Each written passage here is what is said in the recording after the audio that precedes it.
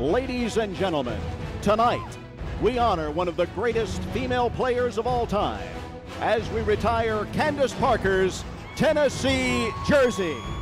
The collegiate resume of Candace Parker is without equal.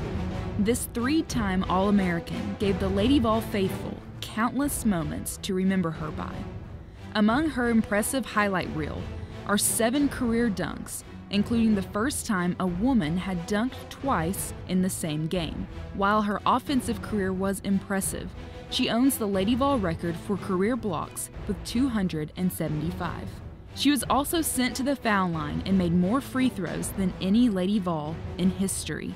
She led her team to two consecutive national titles, where she was the NCAA tournament's most outstanding player in 2007 and 2008. But most importantly, she earned her degree at the University of Tennessee and was recognized as an academic All American in 2007 and 2008. I just want to say thank you guys for the opportunity to wear orange and to play in front of a, a packed gym like this every night. I think this is great for women's basketball. I want to thank my coaches. I want to thank Coach Summitt for allowing me to wear orange.